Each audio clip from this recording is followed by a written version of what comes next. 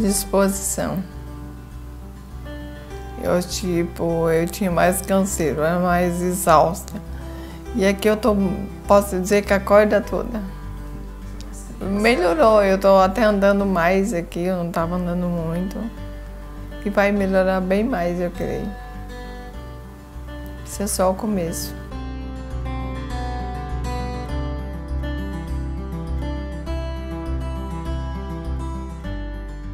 Sim, o tratamento com células tronco até foi meio doloroso, mas eu creio que eu vou ter um grande resultado.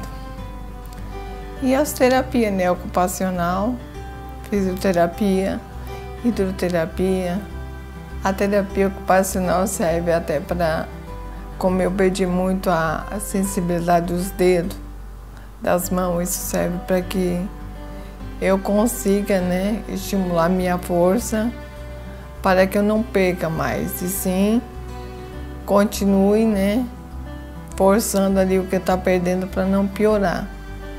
E as fisioterapia também alongando os músculos, né, para que eu não fique mais travada ainda, até para que o tratamento venha a ter uma melhor. E a hidroterapia muito boa, gente. Eu consegui andar dentro da água eu achei fantástico os exercícios da água, a leveza que você sente. Eu acho que todos deviam fazer, eu acho que eu vou ter que fazer diariamente.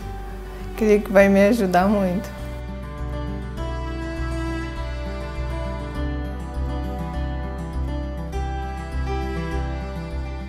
Foi pesquisando na internet, procurando. Daí eu vi ali, né, que em Curitiba tinha Conexão em Saúde. E foi onde eu comecei a me aprofundar e entrei em contato com o Eduardo Gomes. E de lá para cá a gente veio conversando e conversando. E com a graça de Deus tudo fluiu. Olha, o que eu tenho a falar é que todos que trabalham ali são um amor. Me trataram com muito carinho, me deram toda a atenção.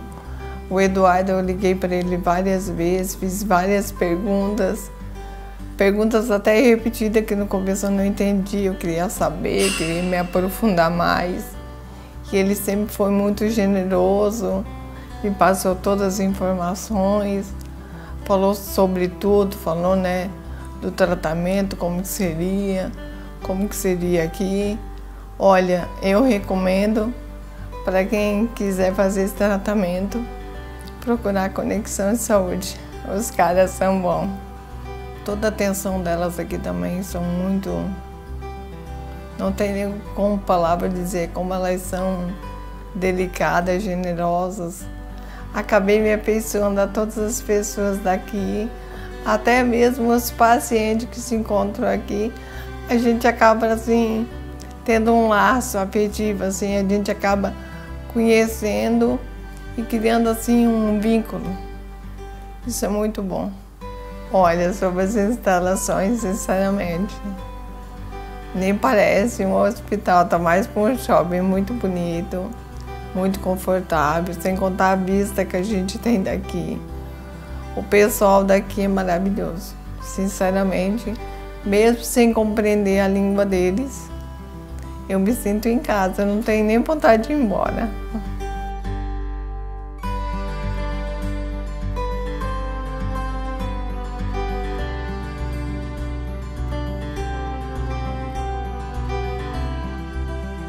Faça, faça, não perca essa chance, porque eu acho que tudo na vida existe um propósito.